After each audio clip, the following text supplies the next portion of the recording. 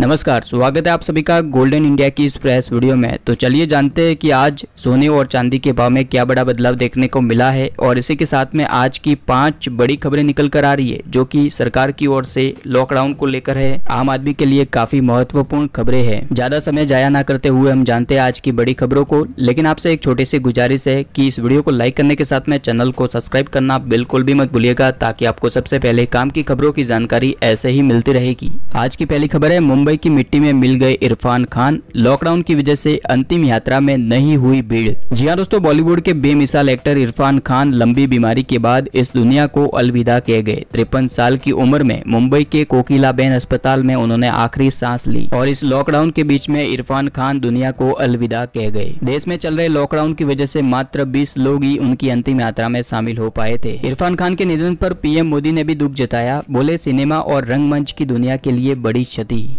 प्रधानमंत्री नरेंद्र मोदी ने ट्विटर के ज़रिए इरफान खान को अंतिम श्रद्धांजलि दी।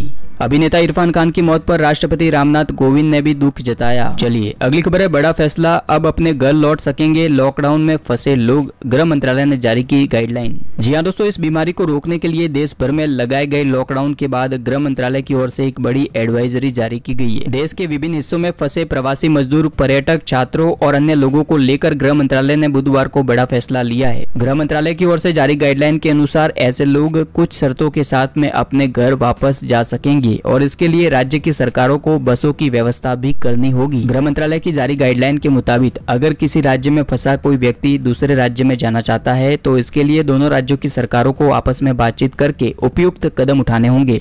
लोगों को सड़क के रास्तों से घर ले जाया जाएगा।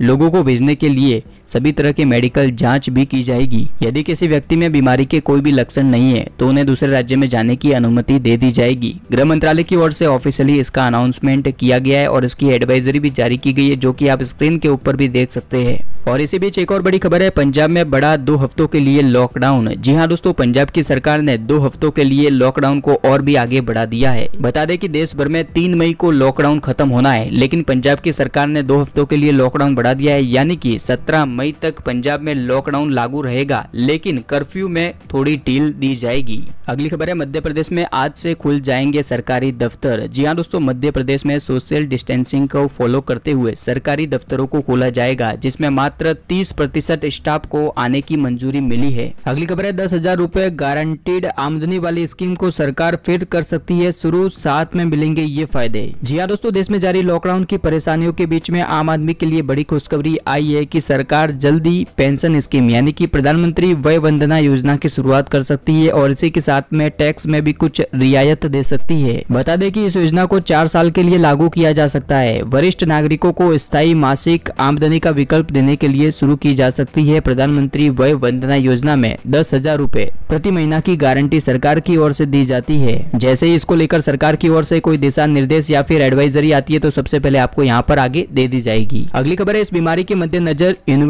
में सितंबर से शुरू होगा नया सत्र यूजीसी ने दी जानकारी। जी हाँ दोस्तों, इस बीमारी की वजह से विश्वविद्यालय अनुदान आयोग यूजीसी ने बुधवार को विश्वविद्यालयों से कहा कि नए छात्रों के लिए सितंबर से और पहले से पंजीकृत छात्रों के लिए अगस्त के महीने से शैक्षणिक सत्र शुरू किए जा सकते हैं। मौसम को लेकर अगली खबर है कि आज यूपी में आंधी बारिश के आसार, मौसम विभाग ने जारी किया पूर्वानुमान। जी हाँ दोस्तों, एक दिन के अंतराल के बाद में मौसम ने एक बार फिर से करवट लेना शुरू कर दिया है। बता दें कि मौसम विभाग के अनुसार उत्तर प्रदेश में हल्की से मध्यम बारिश होने की आशंका जताई है। चलिए तो अगली खबर है, तीन मई को लॉकडाउन खत्म होने के आसार कम टीवी शो में दिल्ली, महाराष्ट्र, बिहार समेत पाँच राज्यों ने बताए उनके एग्जिट प्लान जी हाँ दोस्तों देश भर में जारी लॉकडाउन तीन मई को खत्म होने वाला है, लेकिन इसके बाद बावजूद भी कई तरह की अटकलें सामने आई है। इस चीनी महामारी का खतरा अभी भी टला नहीं है। यदि केंद्र सरकार लॉकडाउन को हटा भी देती है तो राज्य सरकारों के पास में यह अधिकार है कि वे अपने राज्य में लॉकडाउन की मियाद को बढ़ा सकते हैं। एक न्यूज़ चैनल के कार्यक्रम में राजस्थान, दिल्ली, महाराष्ट्र, बिहार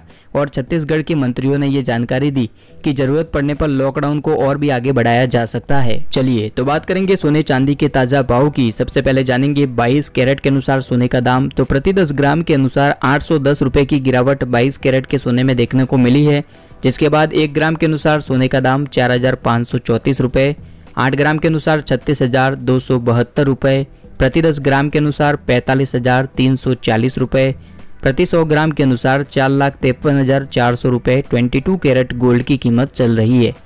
वही दोस्तों बात करें 24 कैरेट के अनुसार सोने के दाम की तो एक ग्राम के अनुसार चार हज़ार सात सौ दो रुपये आठ ग्राम के अनुसार सैंतीस हज़ार छः सौ सोलह रुपये प्रति 10 ग्राम के अनुसार बारह सौ तीस रुपये की गिरावट देखने को मिली, जिसके बाद सैंतालीस हज़ार बीस रुपये और 100 ग्राम के अनुसार चार लाख सत्तर हज़ार दो सौ रुपये 24 कैरेट गोल्ड की कीमत चल रही है। इसी के साथ में बात करें भारत के बड़े शहरों में 22 कैरेट और 24 कैरेट के अनुसार सोने के दाम की। बड़े शहरों में तो देख सकते हैं स्क्रीन के ऊपर, चेन्नई, मुंबई, नई दिल्ली, कोलकाता, बेंगलोर, हैदराबाद, केरल पुणे, बड़ौदा, अहमदाबाद, जयपुर, लखनऊ कोयम्बटूर मदुरई विजयवाड़ा, पटना, नागपुर, चंडीगढ़, सूरत, भुवनेश्वर, मैंगलोर, विशाखापट्टनम, नासिक और मैसूर की प्राइस स्क्रीन के ऊपर दी गई है। वही बात करें चांदी के दाम की तो प्रति किलोग्राम के अनुसार बयालीस हज़ार पचास रूपए पर चांदी पहुँच चुकी है। और इसी के साथ में आज का सामान्य ज्ञान का प्रश्न है कि बिहू किस राज्य का प्रसिद्ध त्योहार है? इसका जवाब नीचे कमेंट करके बताइए और इस वीडियो को लाइक कीजिए। आज की हमारी विनर का नाम है सबनम निशा जिन्होंने गोल्डन इंडिया टीम की तरफ़ से जीता है सरप्राइजिंग पेटीएम कैश। तो इस तरह से आप भी सवालों के सही जवाब देकर जीत सकते हैं गोल्डन इंडिया टीम की तरफ़ से आकर्षक ऑफ़र। सवाल का जवाब देने के बाद में वीडियो को लाइक करने के साथ में में नीचे दिया गया सब्सक्राइब का बटन दबाने के साथ ही बेल का आइकन भी दबा दीजिए ताकि आपको सबसे पहले काम की खबरों की जानकारी ऐसे ही मिलती रहेगी।